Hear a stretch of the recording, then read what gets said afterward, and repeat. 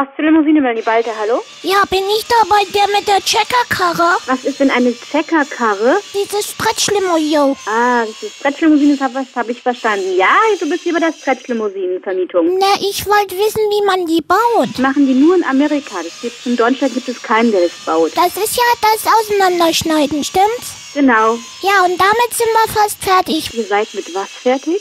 Mit Mit dem Durchflexen vom Papa sein Auto.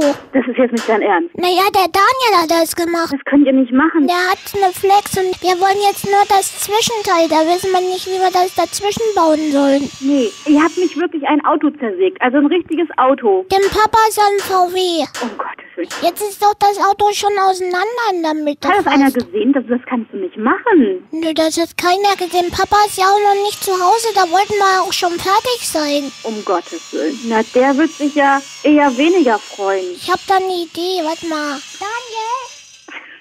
Hast du das Schweißgerät noch? Nein, das ist doch viel zu gefährlich. Was, wo sind denn eure Mamis? Ach, Mami kann nicht schweißen. Das müssen wir schon machen.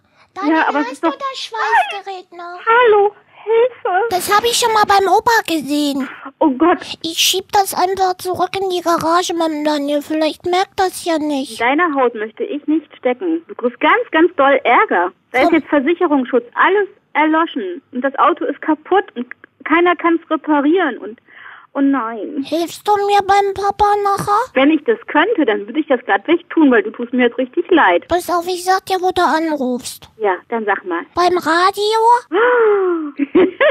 Das ist so gemein. Das ist echt gemein. Schönen Dank auch.